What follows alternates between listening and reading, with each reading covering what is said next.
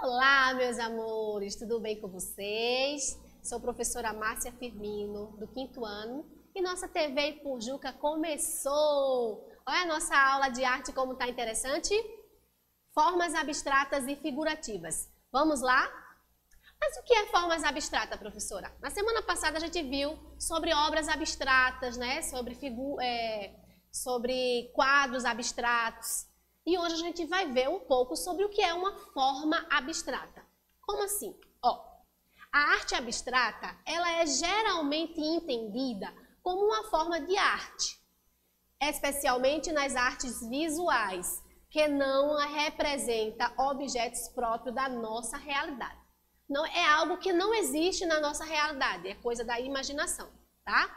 Então, ao invés disso, é, usa as relações formais entre cores, linhas e superfícies para compor uma obra, né, uma realidade da obra.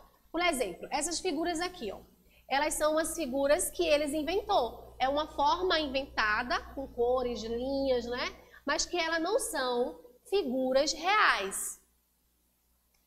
Lá no início do século XX, antes que os artistas atingissem a abstração absoluta, o termo foi usado para se referir à escola como cubismo e o futurismo, que ainda que fosse representantes e é, representativas e figurativas, buscavam sintetizar os elementos da realidade natural, resultando em obras que fugiam à simples imitação daquilo que era concreto.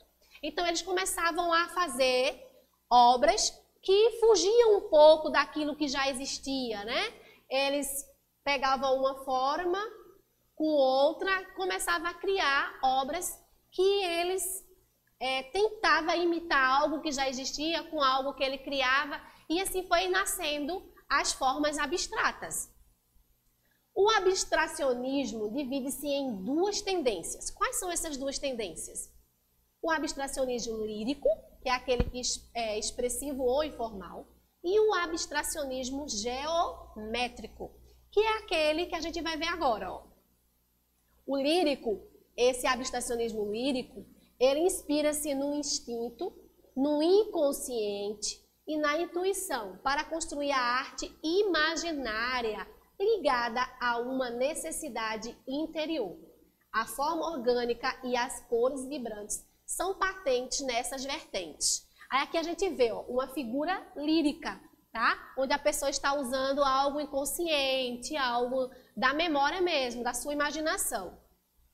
E aqui a gente já tem o abstracionismo geométrico, que já tem formas geométricas. Esse abstracionismo geométrico, ao contrário do abstracionismo lírico, ele foca na socialização, que depende da análise intelectual e científica, foi influenciado pelo cubismo e pelo futurismo. Aqui a gente já vê algumas formas que a gente já conhece, né? Formas já conhecidas por a gente.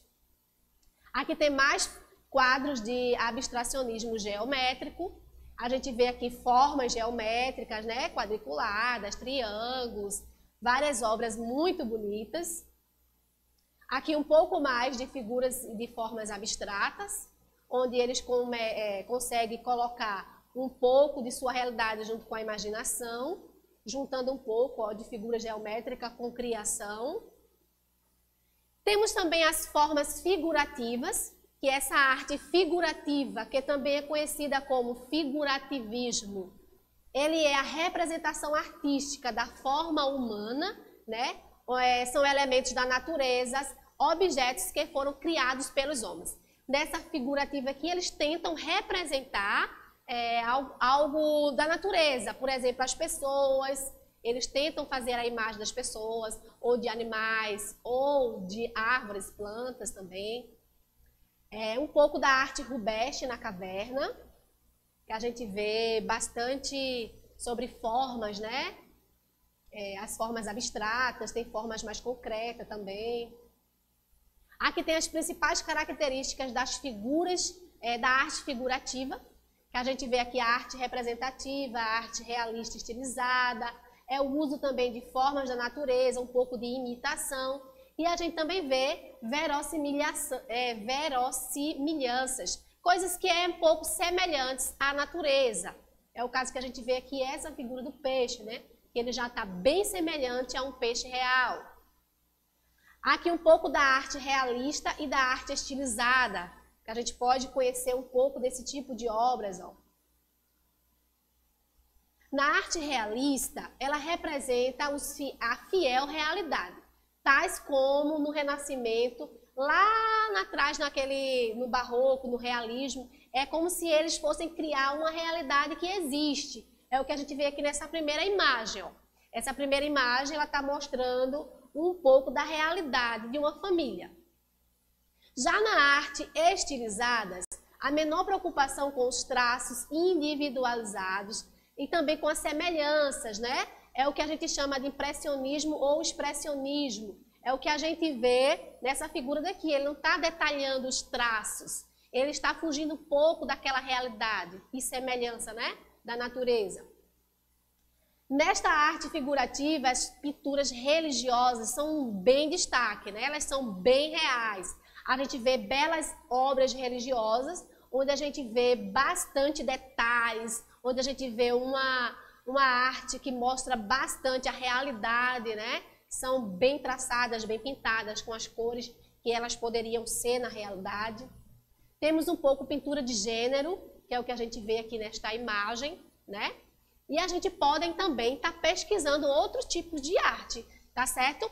Eu quero que vocês prestem atenção nas nossas aulas de arte, que a gente está aprendendo bastante coisas, tá? Na aula que vem, Tia vai trazer um monte de coisa interessante para vocês.